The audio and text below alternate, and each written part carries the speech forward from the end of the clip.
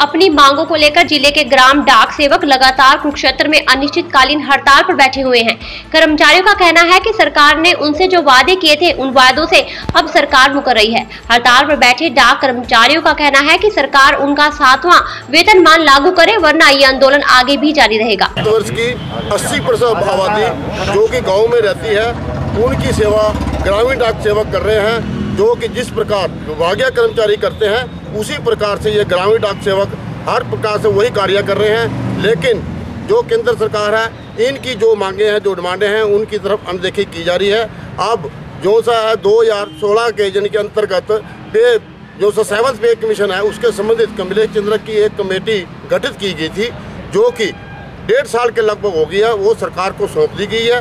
लेकिन अभी तक केंद्र सरकार ने उसको लागू नहीं की है।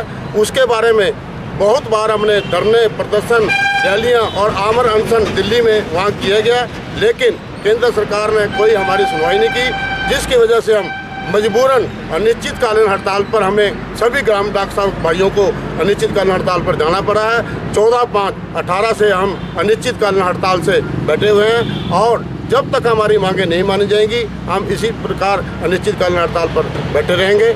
हम मजबूरन हमें इस केंद्र सरकार ने हमें मजबूर किया गया है। और मजबूर होने के कारण हमें ये भी पता है इसमें पब्लिक मतलब परेशानी हो रही है उनको डाक व्यवस्था सब अर्थव्यवस्था बिगड़ी हुई है। लेकिन फिर भी इसकी जिम्मेवार जो है ये केंद्र सरकार है ना कि हम जिम्मेवार हैं। हम तो ग्रामीण से यानी कि अपनी पूरी तन मन से सेवा करते हैं और यानी कि फिर भी हमें इतनी सेवा करते हुए हमें यानी कि इनका हमारी तरफ़ अनदेखी की जा रही है। बता दें कि आगामी सोमवार को कुरुक्षेत्र ज़िले के सभी ग्राम डाक सेवक मुख्य डाकघर के सामने इकट्ठा होकर रोष प्रदर्शन करेंगे।